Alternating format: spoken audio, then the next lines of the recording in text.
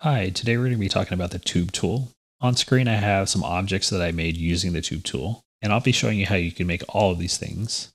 One thing to note is that these are all invalidated objects, meaning I can still control the path, the shape of this by just playing and adding more points or moving points on my current path. These controls up here are all invalidated controls. If I were to tap on any one of these objects and hit validate, you can see all those tools disappear and our sculpting tools appear on the right hand tool panel. But the thing that we've lost is the ability to edit that path now, like these. I can no longer do this with my green shape. You can always use the move tool, but then you're starting to distort your shape. It's not really a true path anymore. So my recommendation is always clone your invalidated object and then validate your cloned one so that you always have a backup. If you want to come back and change the shape, at least you haven't completely lost the original. I would recommend always doing that. So let's start from scratch.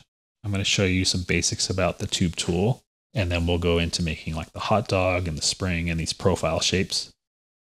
You come up to your right tool panel, find your tube tool and activate it. And then in your left tool strip, you'll see curve and path. I'm going to tap on curve and just draw a straight line. We get two control points, one at each end, these white dots, and you can move them around then we get this tan point, which is your active control up here, which is radius. So you grab that and stretch it, it's essentially your thickness. If you want to add points, just tap anywhere on your path, and then you can move these points as well. Uh, by default, they're curved. If you want to make them sharp, just tap on them. They become sharp and the, the dots turn black. And if you want to undo that, just tap them one more time. If you want to remove a point, just tap and drag over another point. You'll see it turns red. And when you release, those two merge. You can do the same with the endpoints. Let's come over to our path tool now. And the path tool has one stage, which is the path part of the path tool. So when you first tap and drag, it's sort of waiting for you to let go. And if you were to let go, you don't get a tube right away.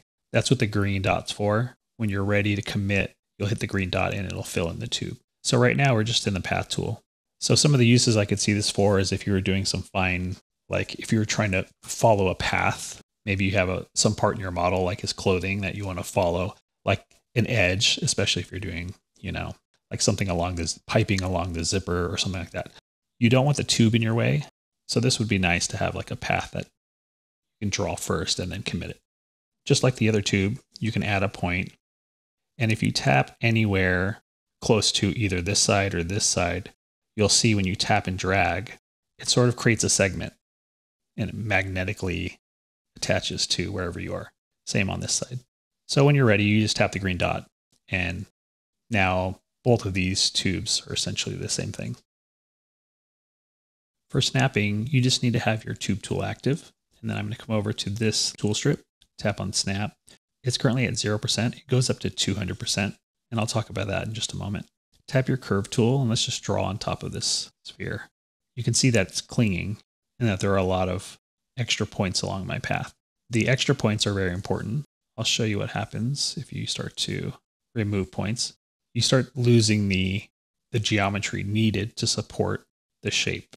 So if you ever run into a problem where it seems like it's sinking into the other object, just add more points.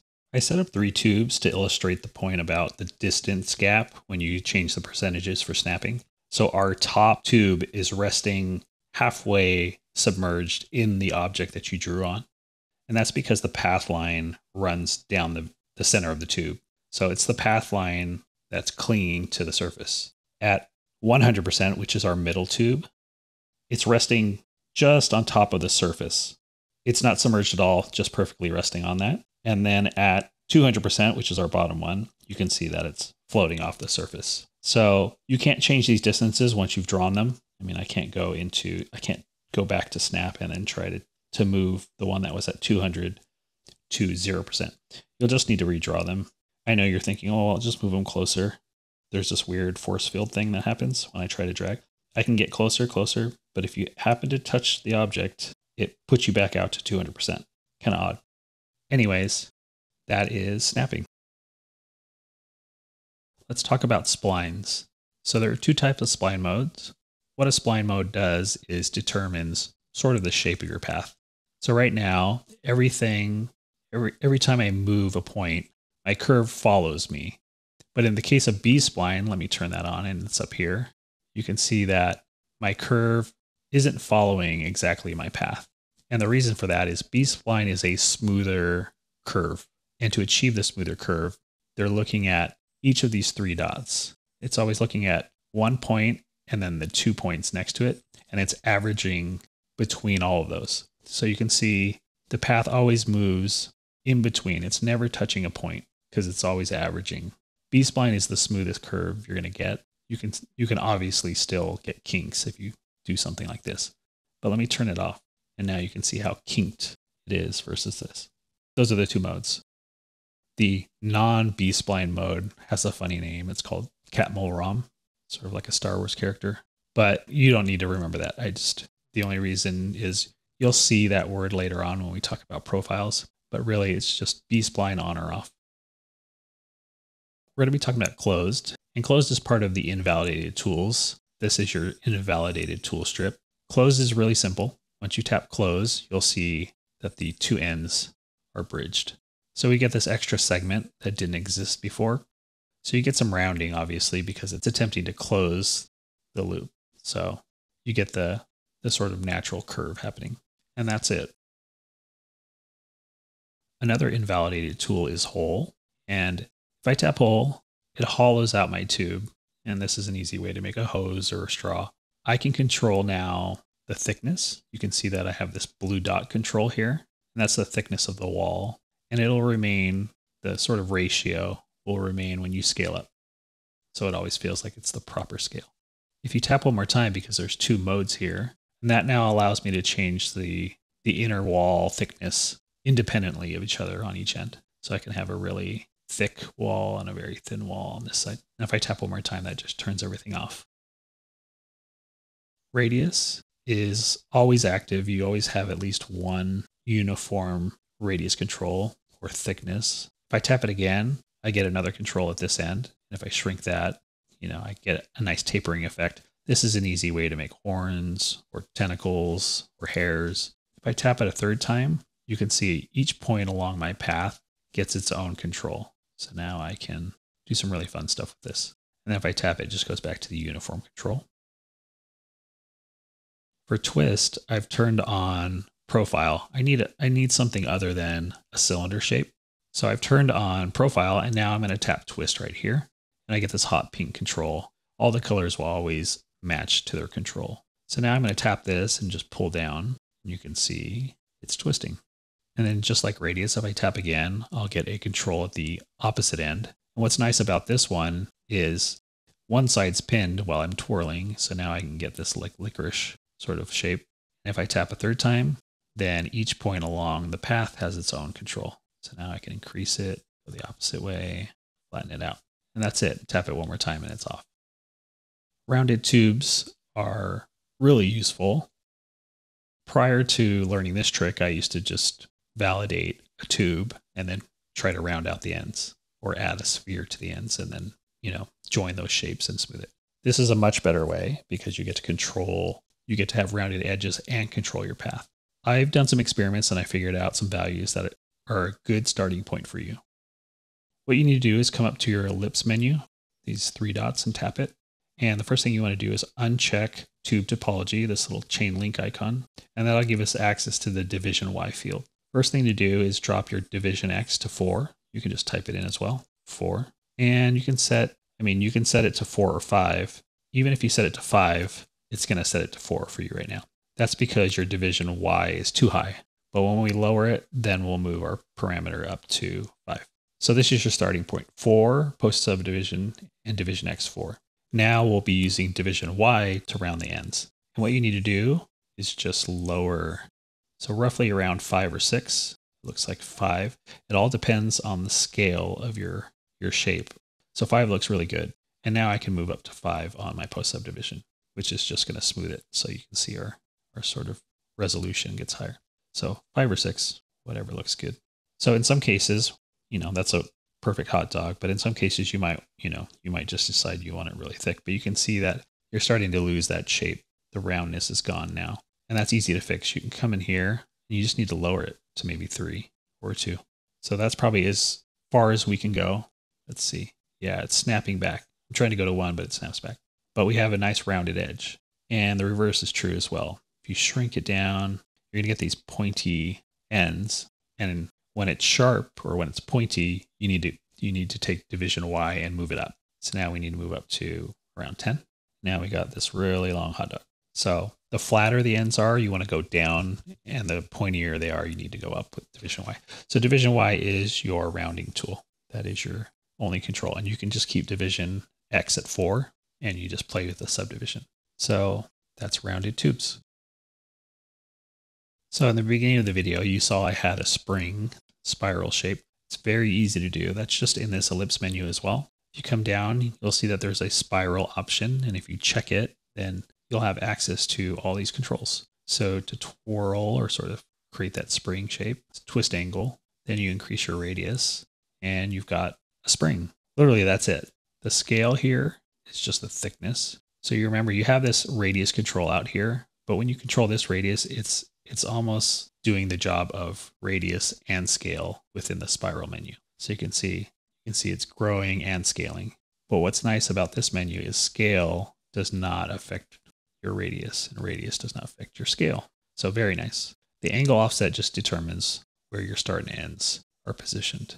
So now you can make a guitar cable and if you want to really make it tight, you can do it like this. And if you want to bend it, that's the nice part is this is a live path. It's an invalidated object, so you get to do really fun stuff with it, bend it in all kinds of way, make it really crazy, increase it to scale. So you can make like a cool guitar cable, coiled guitar cable, or an 80s telephone cord or something like that. So that's spiral. To turn on profile, you just need to come up to your invalidated toolbar up here. Just tap it once. So you can see that it switches from cylinder to square. And the reason why it's square is because under the the next profile, it's truncated. I believe it says profile shape. But the next profile button here, if you tap that, you see this grid down here. And if you don't notice, in the corners are our four points. And that is what makes up our profile shape. Profile shape just meaning, you know, what the tube shape is. So if I were to drag this to be a triangle, you can see that live update on our tube to the left here. If I were to just tap, tap the black dots to be white and round them out. We're basically back at our back at our cylinder shape. But there's a lot of fun things that you can do. You basically, you know, whatever you can think of in terms of shape, you can probably do. I know you can see that it's snapping a lot to the grid. It's also very hard to work when it's really small like this. So I tap this button up here, the full screen button. The cons to this are obviously you don't get to see your tube live updating but there are many times when I just want to work like this. I'm just trying to figure out shapes and it's a little too small for me to work. So I'll work like this. The snapping part I find useful, but there are times when I, I don't want something to be so strict. So I just have snap on up here. You can turn it off. And now you're not bound to the grid. But I do tend to work this way when I'm first discovering shapes. I keep it on. Because a lot of times I'm trying to I'm trying to make perfect symmetry. So I, I want to like, you know, I'm counting how many squares over I am and all this kind of stuff. So here, that helps. The, the snapping helped me there. So let's just take a look at what my shape looks like now. So I've created this, it's like a marble run. You know what I'm talking about. This slide shape, kind of cool. So you can do a lot of really fun stuff. In that same menu, say you do like the shape and you don't want to lose it. You can come over to the presets menu right here. And you can hit new and right here is the shape that we just made. So now if I were to hit reset, and the reason why you reset is because you just want to start a new design. But now I don't have to worry. I have my shape that I can always recall just by tapping on it. And I had made all these shapes here, and it's fun to cycle through them. The M is one of my favorites for sure. Just letters are kind of fun to see. So yeah, I, I don't really have a lot of smooth stuff here. So if I add it, just remember you still have that B spline versus Catmull ROM if you watched the spline modes part earlier in this video, then you'll remember Catmull ROM versus B-spline. So that's really it. And then the only other thing is how many how many profile shapes you want. So this is one profile shape through the entire tube. I already come at the profile and just tap it one more time. Now two dots are active. And you can see I have a square at one end now. So now if I come into my profile, you can see I have an M and I have a square. So let's tap the square And then we can just start drawing something, or I can come to my presets and then I'll hit T. So this was one of the examples I had at the very beginning of the video. I can hit twist to bring this sort of forward facing. Yeah, we'll just leave that. That's fine. trying to bring it closer together.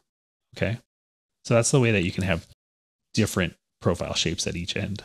And that's how I achieved having two shapes at each end. And then the crazier thing is, is I added a dot here. And when I go to my profile shape, you can see there's an extra shape right here. I can't access that one. That's because I don't have three dots active on my profile. If I tap it one more time, you can see I now have access to, this is like the transition shape between M and T. I could just reset this and make it square. Actually, I'm going to go and just make it a tube. So at some point along this curve, it doesn't look like it, but it was supposed to be a tube somewhere in the middle. Do I not have that active? I do. And take a look at this. I could add a bunch of points. Come back to the profile and look at how many extra profiles I could have. I don't even know what the cap is really. I'm going to just make all these. I'm going to go to preset, just make these all circles. That one's kind of already a circle, I think. I don't know why you do this. Well, maybe. Okay, so now I've added in enough circles along the path that you can see.